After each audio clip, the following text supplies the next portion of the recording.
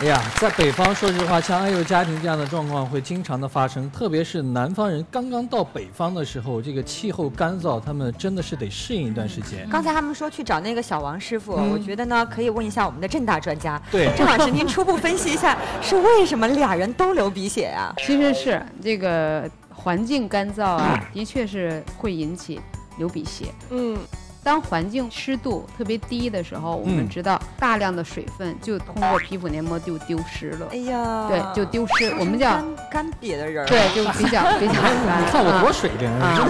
你养回来了。对。湿润的这个环境呢，它会使这些皮肤啊黏膜就会保水的能力就会比较强。嗯，那么通常情况下，室内室内的这个湿度和大气中的湿度，让人比较感到舒适的是百分之五十到六十。嗯，就你湿度高感觉到哦，你感觉到，但是有时候室内温度达到了二十六七度，甚至到三十度，那那个时候湿度可能仅仅有百分之十几。那这样的一个很干燥的这种一种环境温度，嗯就会出现刚才小品演的，就是它好渴。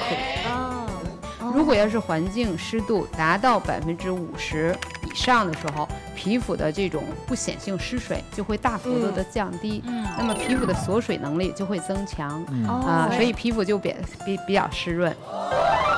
黏膜的锁水能力就更差。当环境湿度下来的时候，整个皮黏膜都处于干燥状态。它为什么出血呀、因为太干燥的时候，对对对嗯，它本来已经很干了，嗯稍微用用机械性一刺激，那血管就破裂了。嗯导致了就是出血。哦对，最好能买个温湿度表，那我们就看看这湿度现在是多少。如果你室内的湿度都百分之十五了，你想想，就增加了我们患流感、普通感冒的这个风险。嗯对，家里有小 baby 的湿疹发病率也会增高，嗯那宝宝就一感冒了，就也有一些像肺炎球菌啊这样的细菌也会感染，那宝宝有这个患肺炎的几率。适合宝宝的湿度对大概是多少？嗯，通常情况下就是适合。